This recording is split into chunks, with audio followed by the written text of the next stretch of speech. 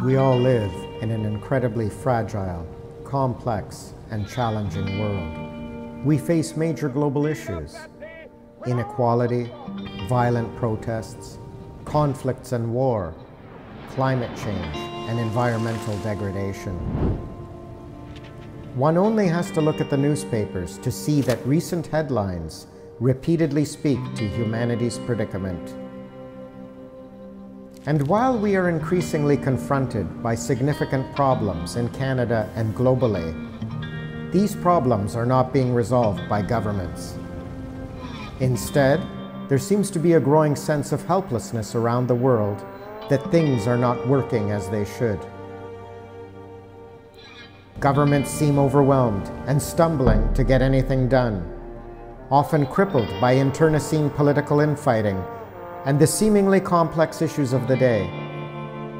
Worse, more and more people are blaming others for their problems. The result has been more division between citizens and nation states alike.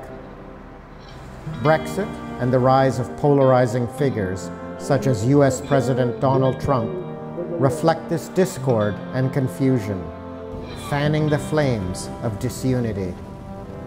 But the blame must stop. Blame prolongs existing problems and breeds new ones. While misguided leaders flail about in the ever-growing quagmires enveloping their nations, they know not what to do, only whom to blame and what sounds good to say. Around the world and here in Canada too, people need to start blaming something else rather than someone else for their mounting problems that they face. That something is the poorly designed structures of our government. Fortunately, repairing the institutions that unite us and reflect our values is not a monumental task. In fact, Canada can shine as a beacon for all democracies and international institutions plagued by the same problems. It is time for Canadians to lead by example. It is time for Canada to invoke a new narrative, perhaps even a new slogan. It is time we Canadians punched above our weight.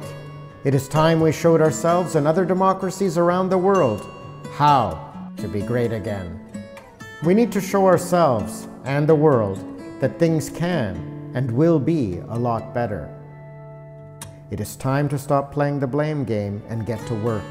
It is time to mend the flag to heal the world.